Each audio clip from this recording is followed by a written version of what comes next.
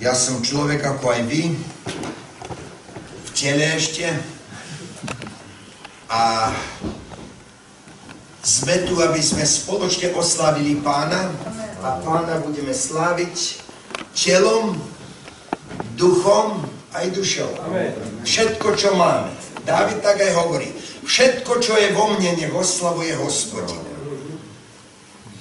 Viete, slovo Božie nás ponúka, hovorí, hľadajte ma. Na mnohých mestách hospodin hovorí, hľadajte ma. Hľadajte tvár hospodinovu ustavične. Niekto hovorí, a čo? Sa pán Boh stratil? Že ho máme hľadať. Nie pán Boh, ale my sme sa stratili. Takže si hľadáme cestu späť, odkiaľ sme vypadli. Späť, odkiaľ sme, kde sme boli a kde sme stratili v Adamovi ten kontakt s našim stvoriteľom. Nie, že Boh, ale my sme boli stratení. Viete, viera a, nás posilňuje. Nevera nás okráda.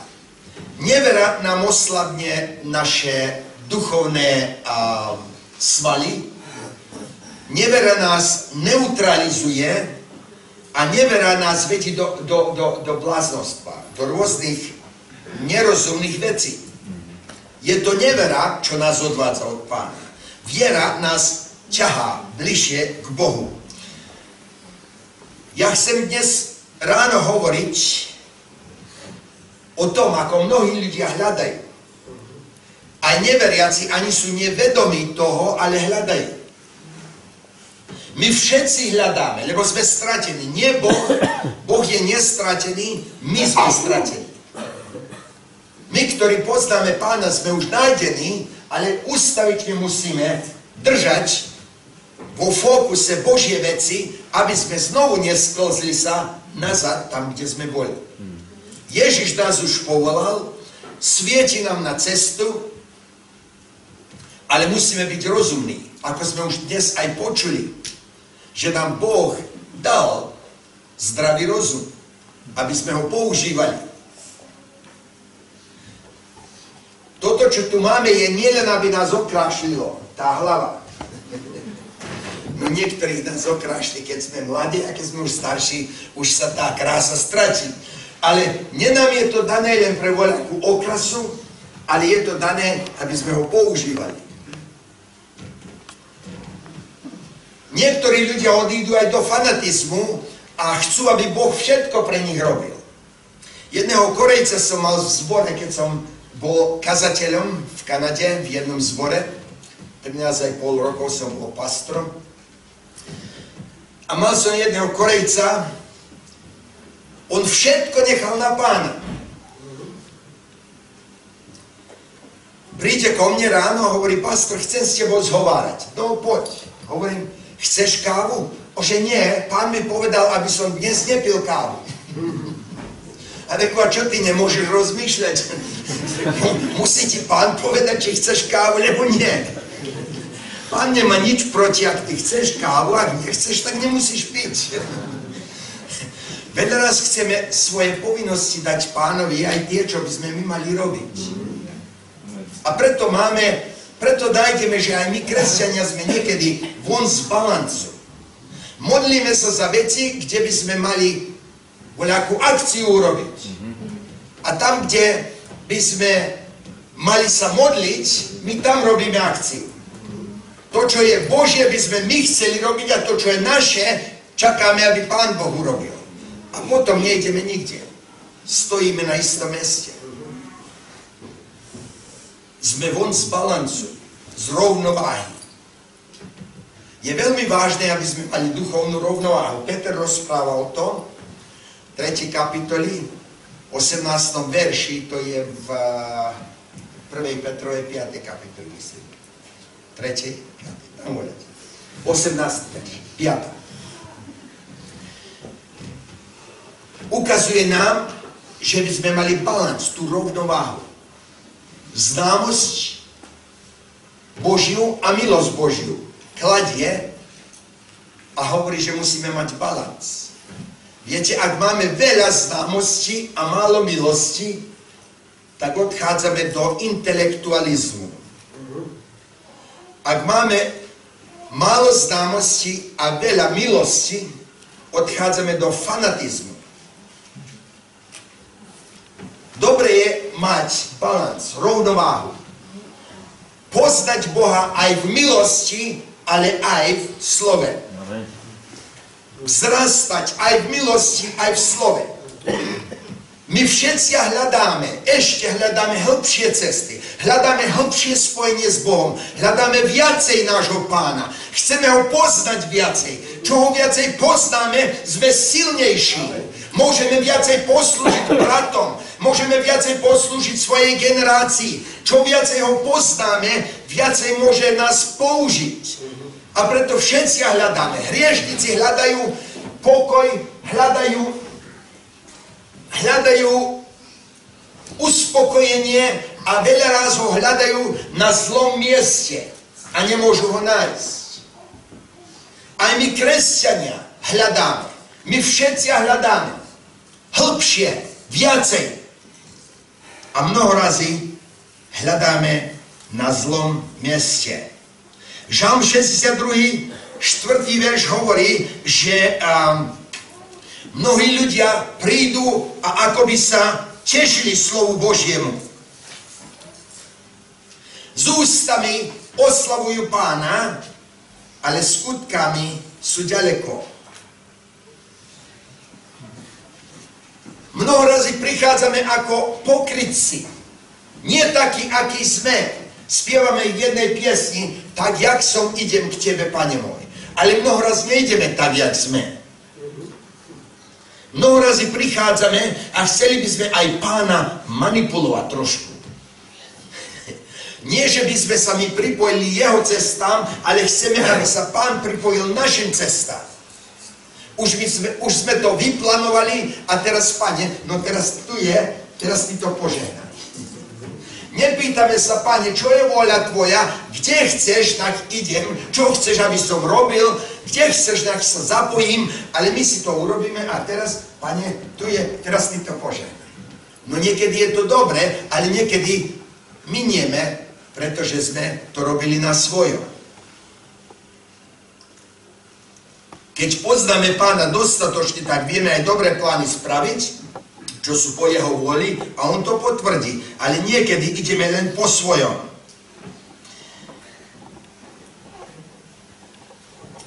Tiež v Žalme 78, 36. verš nám tiež hovorí, že z ústavy sa ľudia niektorí približujú k Bohu, ale srdcom sú ďalekí.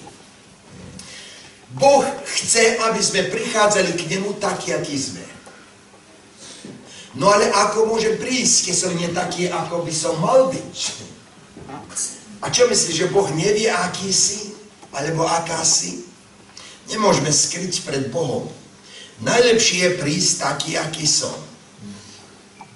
Ak aj chybu mám, s tou chybou prísť k pánu. Adam si chcel urobiť vyriešenie, on si položil figový list pred seba a myslel, no už je vyriešený môj problém. My kladieme figové listy na naše slabosti tiež. Skrývame sa veľa raz pred Bohom, ako by to Boh nevedel. A Pán vie všetko. Bratia aj sestry, nevera nás vytroví zo sily alebo z energii, ktorú máme, ktorú by sme mohli pre pána použiť, Nevera nás vyprázdni. Nevera nás vyčerpá. Lebo nevera nás bude viesť na také neužitočné veci, aby sme to robili, alebo hľadali pána tam, kde pán nie je.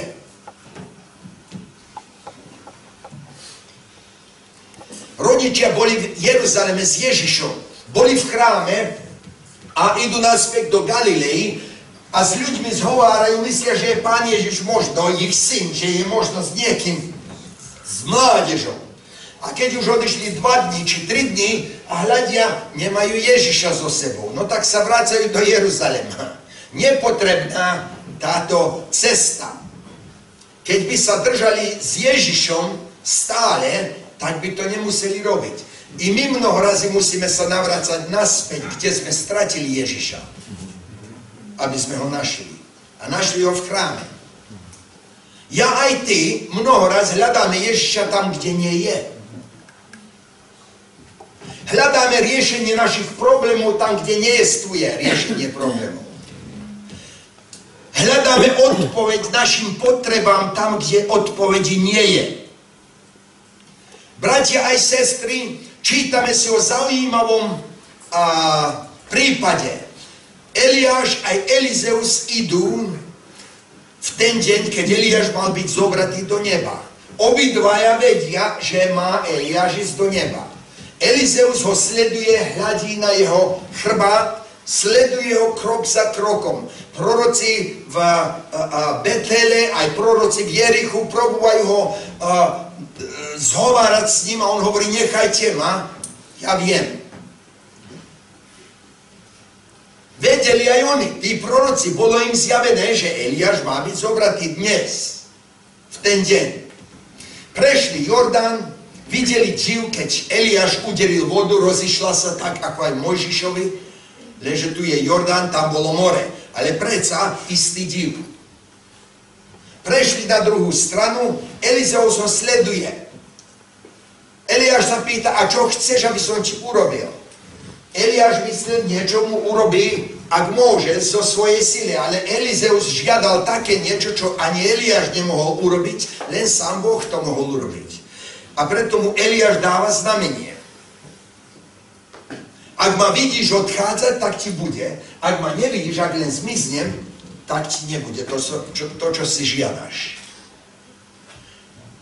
A Eliáš mu mohol povedať dopredu, vtedy. A prečo myslíš, že ťa nasledujem ešte od Karmela? Od Karmela ťa nasledujem. To je už niekoľko sto kilometrov. Ťa nasledujem. Niekoľko dní ťa už nasledujem a hľadím na teba. Elizeusovi už bolo zjavené. Viete, keď sa miešate s ľuďmi pomazanými, tak to pomazanie sa ošuchá aj na vás.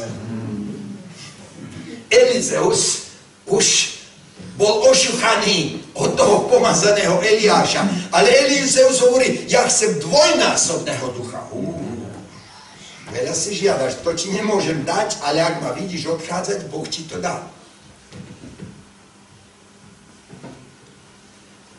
Elizeus hľadí odrazu, Boh zdvihne Eliáša a on ho vidí, odchádza.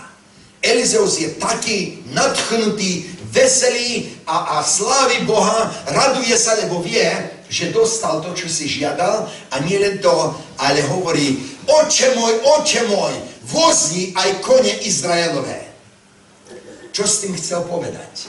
Jeden pomazaný muž znamená viacej ako všetko vojsko jednej zemi.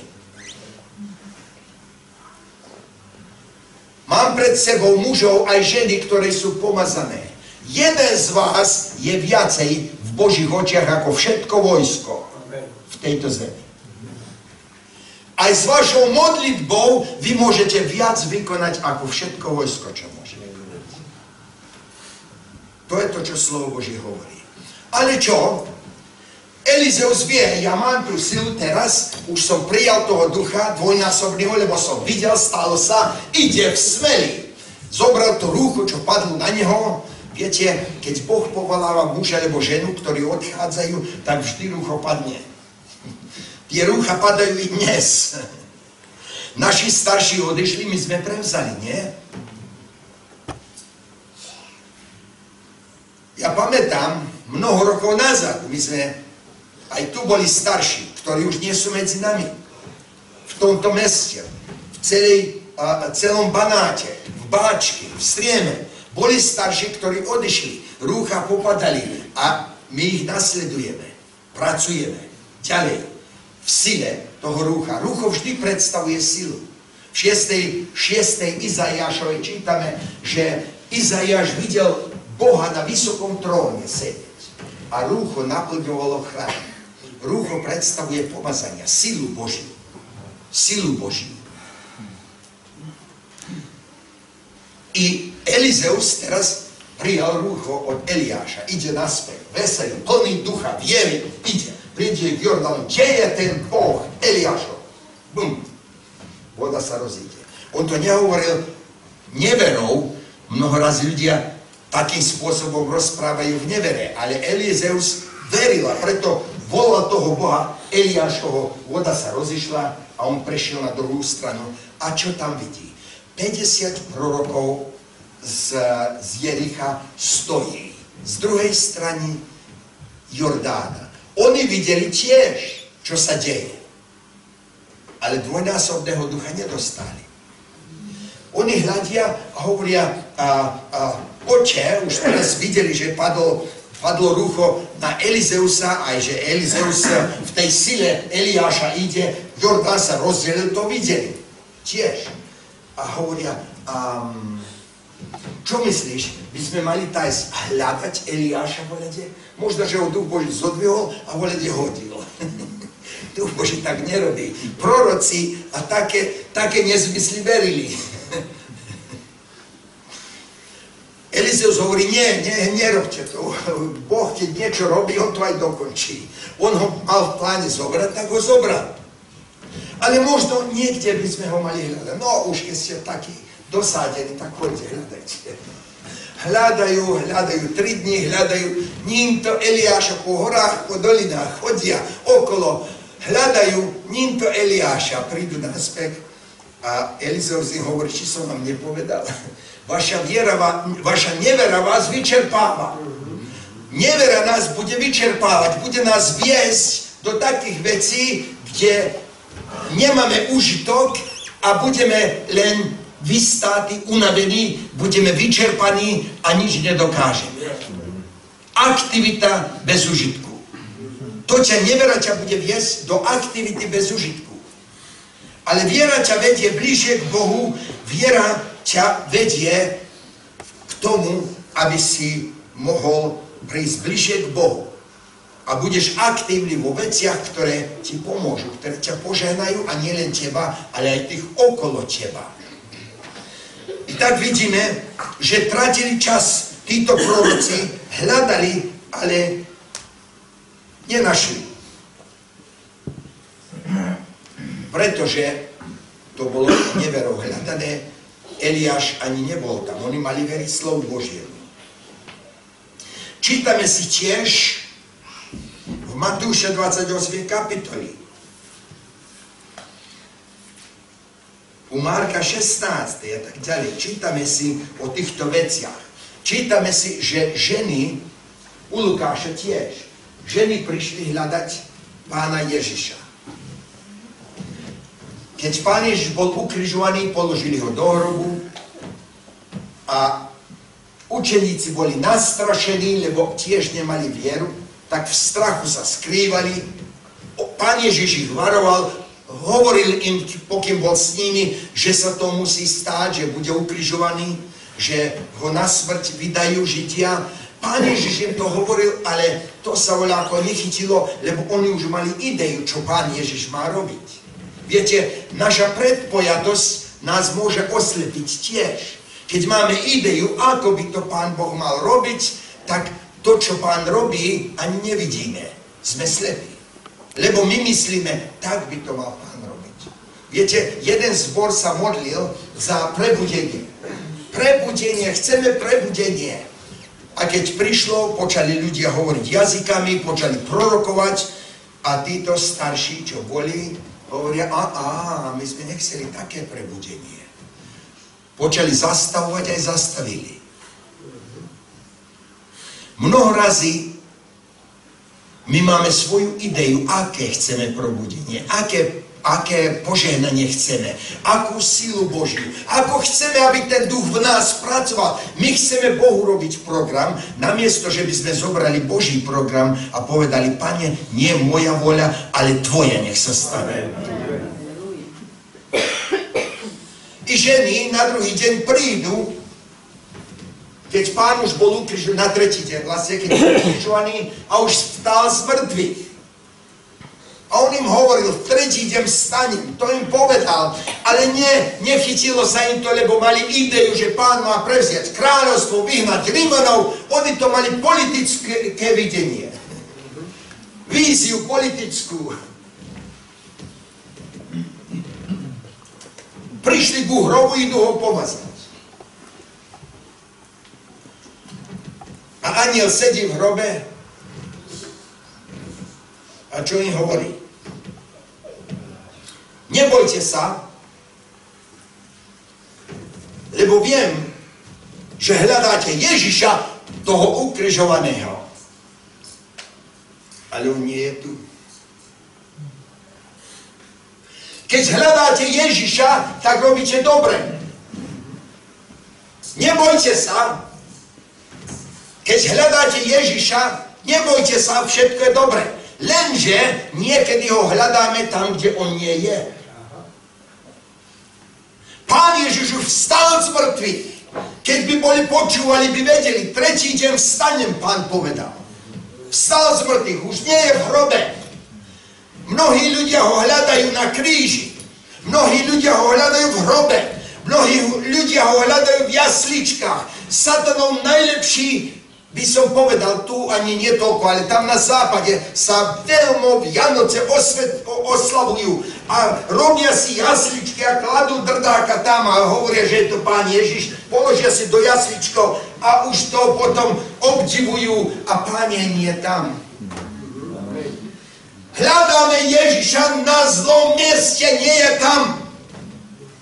Bratia moji, keď by som mal moc, by som vás chytil za ruku, odvedol by som vás k jasličkám, ukázať vám, že je Pán Ježiš nie tam. Odvedol by som vás na Jordán, Pán je nie tam. Do Galilejského mora, kde Pán chodil po vode, ale už nie je tam. Dovedol by som vás ku hrobu, ku krížu. Nie je na kríži viacej, ako čo katolíci kvačkajú ešte. Dovedol by som vás k hrobu, aby som vám ukázal prázdny hrob a potom by som vás viedol k trónu, lebo Ježiš sedí na tróne. A my môžeme. Kráľ, kráľov a pán Nehľadaj ho na zlom mieste. Ježiš sedí na tróne, vládne celým vesmírom. Ak chceš k nemu ísť a jeho nájsť, musíš ísť ku trónu. Amen. Koľko raz stratíme čas a energiu.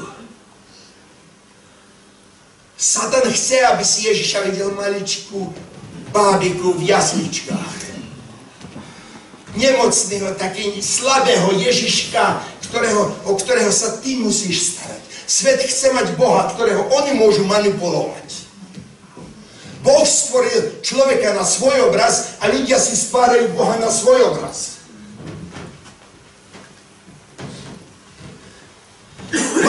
Maličkého božika, ktorého môžu manipulovať. A z roka na rok sa vracajú tam. Satan ich drží oči na jasličkách. A tam je nie pán. Alebo na kríži. Ani tam je nie. Ďakovať pánu, že zomrel za nás na kríži. Ale nie je tam. Sláva pánu, že bol v hrobe, ale nie je tam. Môj Ježiš sedí na tróne a ja keď chcem k nemu hovoriť, idem k trónu a počujem ma. Halelúja. Halelúja. Nehľadajte Ježiša tam, kde nie je. Halelúja.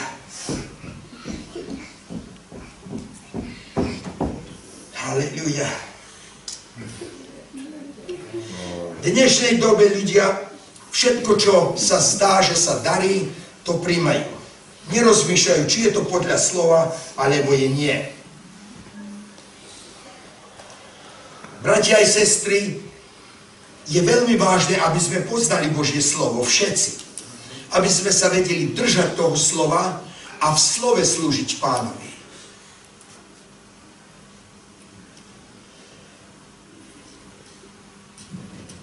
Je veľmi vážne, keď niečo hľadáme, aby sme hľadali na správnom mieste.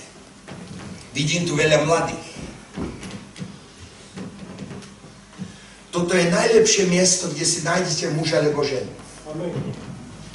Niektorí idú do, do tanca, do krčmy, idú voka niekde, aby si našli manžela alebo manželku. A potom o niekoľko rokov zbadajú, alebo aj menej ako niekoľko rokov, zbadajú, že urobili chybu a už je pozdie. Celý život je zabrlený. Hľadajte a nájdete, ale hľadajte na správnom mieste. Poznám jedného mladíka, ktorý hľadal v krčme a našiel, veriaci. Niekoľko rokov žil, a rozišiel sa so ženou. Celý život zničený. Našiel druhú, tiež na zlom meste. Už potom to sa kotúľať začne. Najlepšie hľadať na správnom mieste. Ak si veriaci, toto je miesto, kde si nájdeš muža a ženu. Aj to ne, nehľadaj sám, svojou múdrosťou, ale sa modlí. Dievčatá, modlite sa, chlapci, modlite sa. Pán vám ukáže a bude vás viesť, bude spravovať vaše kroky a nájdete tú pravú alebo toho pravého. Keď som sa ja ešte neoženil, išiel som tak zo zboru do zboru a kážem a pýtajú sa ma, Pavel, a čo sa neženíš? Ja hovorím, čakám tú pravú. A všetky sú jednaké ale nie sú všetky jednaké. Ani mužovia nie sú všetci jednakí. Dobre je čakať na pána. Slovo že hovorí, všetci, ktorí čakajú na hospodina, nebudú zahambení. Na neho čakať, na správnom mieste hľadať a správne hľadať. Duchom Božím. Nie podľa citov. Nie podľa citov. City vedia oklamať. Boh nám dal 5 zmyslov do tela. Ale tie nie sú dosť, aby sme našli Božie cesty. To sú pre tento život zemský. Pre nebeské veci musíme mať šiestý zmysel a to je viera. A ten šiestý zmysel ťa môže aj do kontaktu s Bohom doniesť. Keď máš vieru, tak aj so svojim stvoriteľom môžeš prísť do kontaktu. Nehľadaj na zlom mieste, hľadaj na správnom mieste. Koľko životov bolo skazené, koľko životov bolo zničené, len preto, že dievčatá alebo chlapci hľadali na zlom meste partnera životného.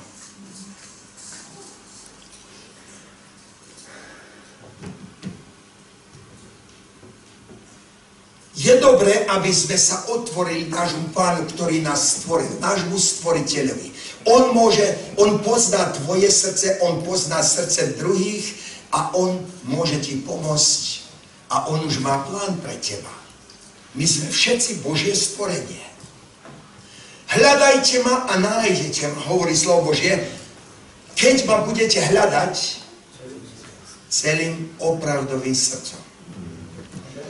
Nie len površne, povrchne hľadať, ale hlboko hľadať a pán Ježiš sa ozve. Ja pamätám, keď som bol taký teenager, mladý, 16-17 rokov, z práci, z Petrovca idem do Pulpínu a vždy som sa zastavil v Petrovskom zhromaždení, tam sa také starenky schádzali na modlitbu každý deň. Sestra Lipovcová tam bola, sestra Ďugová, sestra Častvenová a ešte staré sestry už odišli všetky.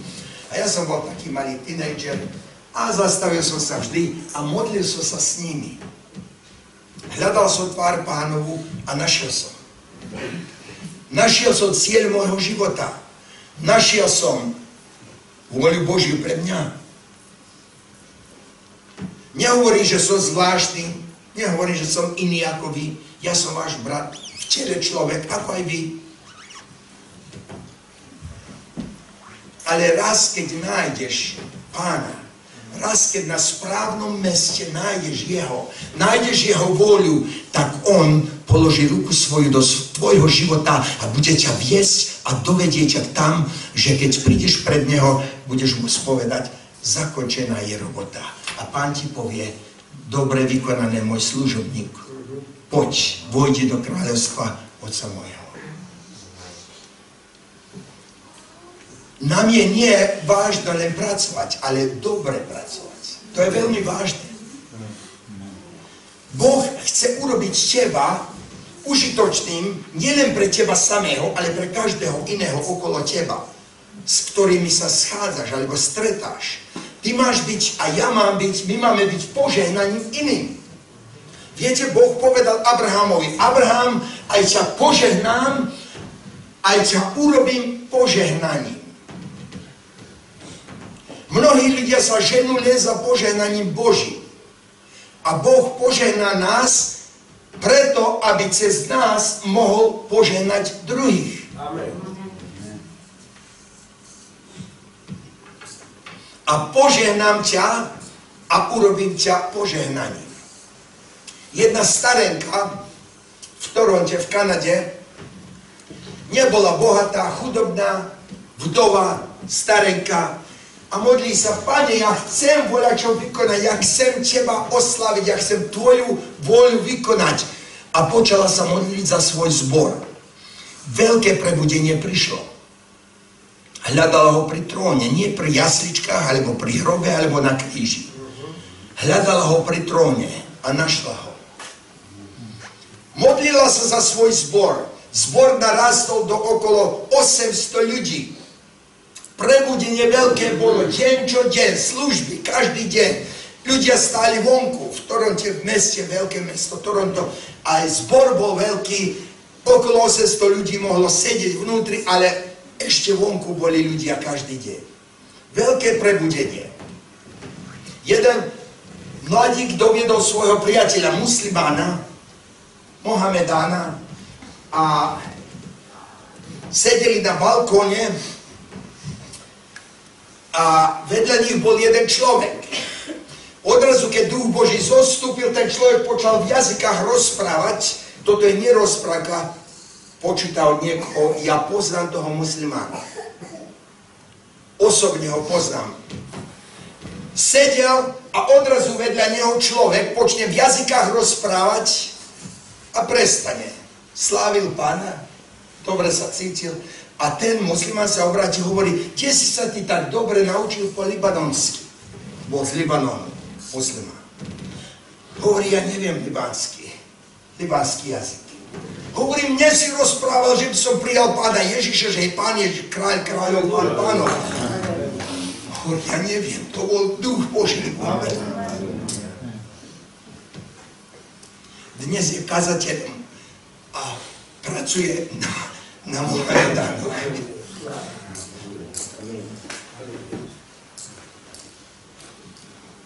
Tá starenka to urobila, ktorá sa modlila za ten zbor. Ja som tiež išiel veľa raz tam, keď som bol slobodný, tak som išiel na tie služby. A raz pamätám, ten balkón bol nad nami, ja som sedel dolu, a tu boli voľáky neveriaci. A keď sila Božia prišla, to bolo preplnené a odrazu tá malta spadla jednému na hlavu. Ja som nevedel, čo sa robí, ale ten vybehol von, to bol neveriaci. A uveril. Od strachu uveril. A jeho priateľ bol veriaci a ten mi povedal, hovorí, išli, ja ho volám do, na zhromaždenie, on hovorí, oni, ak pôjdem tam, tak mi spadne tam na hlavu, voľačov. Robil si žarty z toho, že spadne mi na hlavu. A to, čo si prorokoval, si aj vyprorokoval. Presne to sa mu stalo. Spadlo mu na hlavu tam, keď sedel v tom zhromaždení. A od strachu potom uveril. Prijal pána. Veľké požehnanie. To všetko sa stalo od tejto starenky, čo sa modlila. Ale ona, keď sa modlila, viete, čo bolo? Modlila sa raz, ešte prebudenie neprišlo, ale ako sa modlila, modlila za prebudenie, odrazu a, prišiel jeden velikánsky človek, viac ako šestvo, a hovorí, prestaň sa modliť. A on hľadia, myslí si, no kto by mi povedal, prestaň sa modliť? Pán mi to nepovie, to musí byť diabol. On hovorí, mene pána Ježa Krista ti rozkazujem, odíď. Odrazu ten velikánsky človek sa zmenšil na takého a zmizol. To v modlitbe, keď sa modlila, sa jej stalo. Pokračovala, až pokým prelomenie neprišlo. Či ste starí, nebo mladí, Hľadajte pána Ježiša na tróne a nájdete ho. Nájdete ho, halleluja.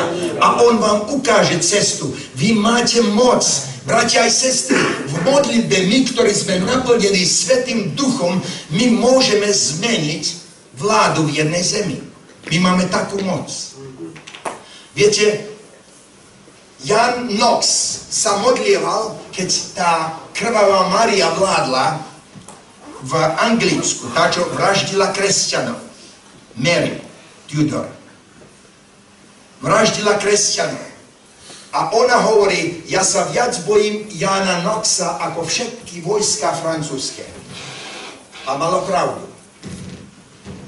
Raz, keď veľmi prenasledovala, vraždila, Jan strávil noc na kolenách a ráno bola mŕtva ona. On sa nemodlil za jej smrť, ale sa modlil za oslobodenie svojich bratov. A pán ju zoťal. Bratia aj sestry, vy máte moc, ani si neviete predstaviť.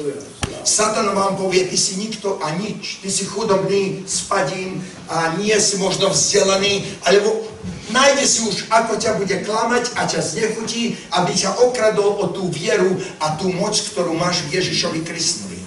Ale ty a ja sme ambasádori Boží na tejto zemi. My predstavujeme kráľa kráľov, pána pánov, on sedí na tróne, my ho predstavujeme, my sme jeho ambasádori na tejto zemi. My máme moc. Ježiš Kristus ťa chce ozbrojiť vierou, hľadaj ho na pravom meste, nehľadaj ho volede, nehľadaj také niečo, čo sa tebe ľúbi, ale mu povedz, pane, tvoja voľa nech sa stane v mojom živote. A on vie, na čo si schopný, čo môžeš robiť, aj čo ti môže zdôveriť. Viete, že my učíme veľa raz, že máme mať vieru v Boha. Ale ja vám poviem dnes ráno niečo. Boh musí mať vieru vo vás. Ja? Čo hovorí o Abrahamovi? Ja viem, že môj sluha Abraham, to, čo som mu zjavil, že naučí svoje deti, aj deti detí svojich. On mal vieru, že Abraham to, čo ho Boh naučil, preniesie na svoje druhé pokolenie. Či Boh má vieru v teba a vo mňa? Mnoho razy počujeme, Boh použil tam brata, tam sestru. Viete prečo? Pretože mal dôveru v nich, že oni to vykonajú. Aj ty, keď robíš, si zamestnaný, nepošľu voľakú zvláštnu vec, čo treba urobiť, kompánie nepošle amatéra voľakého, alebo ešte učňa, čo ešte nevie, čo má robiť. Ale pošle toho, ktorému verí, že to aj vykoná, čo má vykonať. I Boh chce tebe veriť. Ty máš veriť Bohu, ale Boh chce tebe veriť. A tú dôveru si musíš zarobiť. Boh musí vidieť, že ozaj môže tebe veriť. Boh musí vidieť, musí byť dokázané v tvojom živote a mojom živote, že Boh nám môže veriť. A keď nám verí, potom aj vykoná cez nás. My slúžime veľkému neohraničenému Bohu, u ktorého je všetko možné. Nič nie je nemožné. Jedna piesen Slovenska hovorí, nič nie je nemožné, keď veríme. Nič nie je nemožné, keď veríme. Viera a, a, a, a, Božie slovo, a, živé Božie slovo, a, viera Božie slovo, živé Božie slovo, pohne Božou rukou, keď veríme. Áno. Tá píseň je takto, probujem vám zaspievať. Môj hlas je nedobrý, pretože veľa rozprávam, ale probujem vám ju zaspievať. Je to krásny zbor, ve, e, veršík, pieseň, krátka. Nič nie je nemožné, keď veríme. Nič nie je nemožné, keď veríme. Viera v Božie slovo, živé Božie slovo, pohne Božou rukou, keď veríme. Viera v Božie slovo, živé Božie slovo, pohne Božou rukou, keď veríme. Boh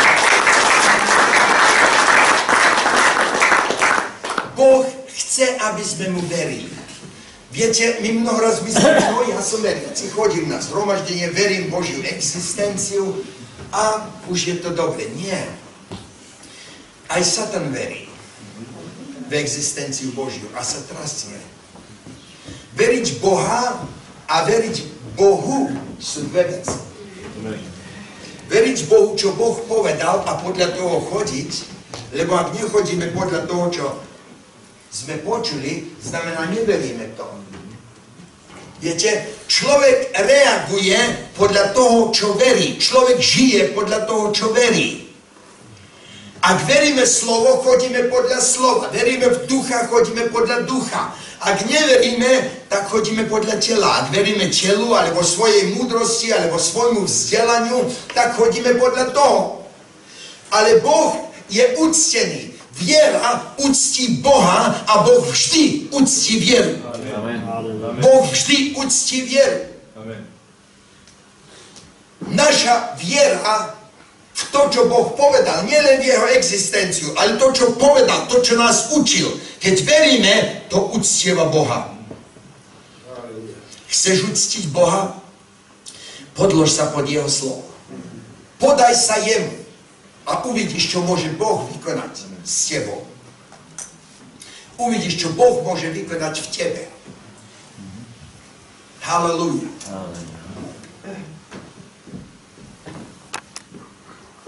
Bol som v Kolumbii, stál som pri okne na štvrtom poschodí a vidím tisíce domov okolo. Modlím sa a neviem, že za mňou stojí jeden brat z bratskej cirkvi.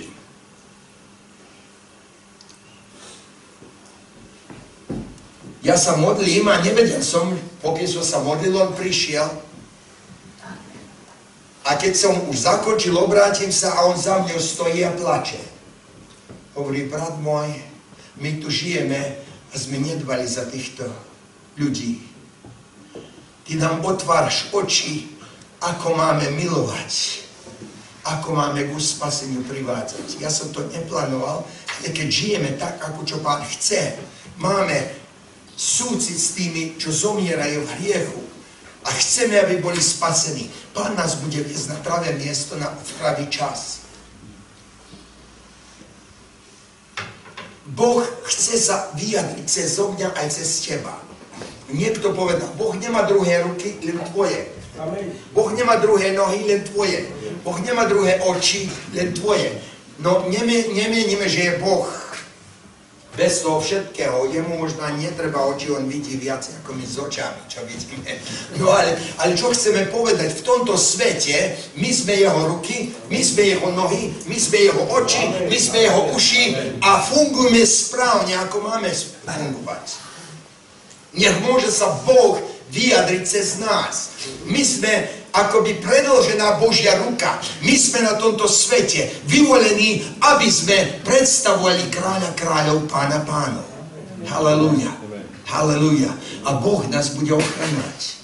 Boh nás pošle tam, kde vie, že môžeme vykonať veci. Niektorí sa ma pýtajú, prečo mňa Boh nikde nepošle. Ja hovorím, nemusíš sa ty ani modliť mladí obyčajne robia tú chybu. Oni sa modlia, pane, daj mi toto, alebo daj mi ono, daj mi proroctvo, daj mi videnia, alebo použij ma, pane, voľáko. Nie je to zle sa modliť, ale ak si nie hotový, tak Boh nemôže tvoju modlitbu vypočuť. Lepšie je, aby si sa očistil, posvetil a čakal. On ťa potom použije aj bez toho, že by si sa modlil keď pripravíš svoj život, je. Keď vidíš, že sa, lebo hovorí Timoteovi, Pavel píše, ten, kto očistí svoju nádobu, ten, kto sa očistí a posvetí, že Pán ho použije. Boh nás na počiatku očistil, priviedol nás zo sveta, ale Pavel hovorí, zdokonalujte alebo budujte to posvetenie, ktoré vám Boh dal. Znamená, my máme pokračovať v tom, čo sme prijali od pána na počiatku. Budovať na tom základe. Vidíme Noé.